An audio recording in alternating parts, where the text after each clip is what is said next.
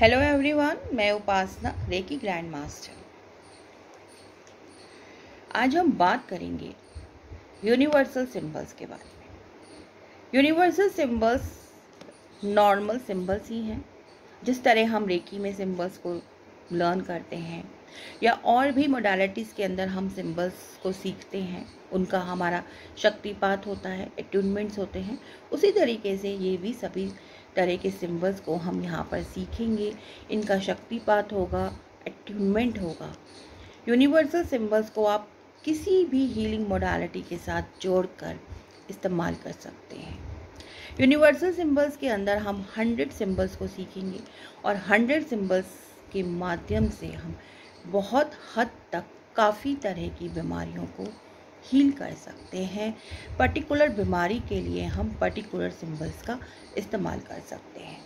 इसके अलावा बहुत सारे क्वायरीज में अधिकतर लोगों की ये सोच होती है कि हम दो तीन चार सिंबल्स ही इस्तेमाल करते हैं, उसी से हमारा काम होता है।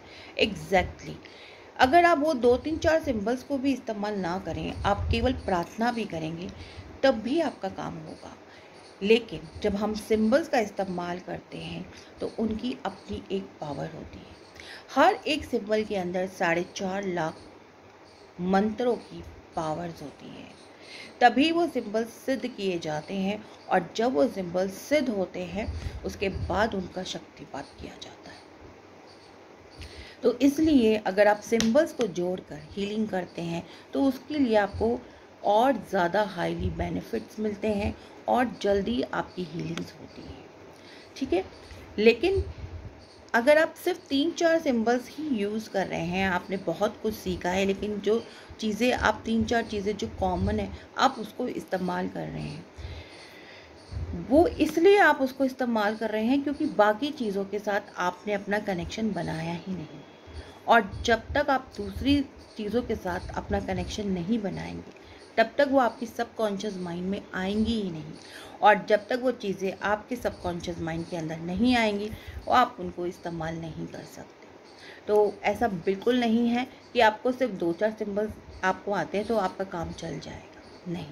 अगर आप एक प्रोफेशनल हीलर हैं, अगर आप प्रोफेशनली किसी को पढ़ाते हैं, एक टीचर हैं तो आपके लिए ज़रूरी है कि आपको सब तरीके की नॉलेज होनी चाहिए और नॉलेज के लिए आपको मेहनत करनी पड़ेगी, आपको सीखना पड़ेगा प्लस आपको उन चीज़ों के साथ अपने कनेक्शन को बनाना पड़ेगा। किस तरीके से आपको अपने कनेक्शंस को बनाना है? किस तरीके से हर एक एक सिंबल को लेकर उसके साथ आपको मेडिटेशंस करने हैं, वो सब हम आपको इस कोर्स में सिखाएँगे और उसके बाद आप खुद अपने जीवन में देखेंगे कि कितना बदलाव आ चुका है। Thank you thank you every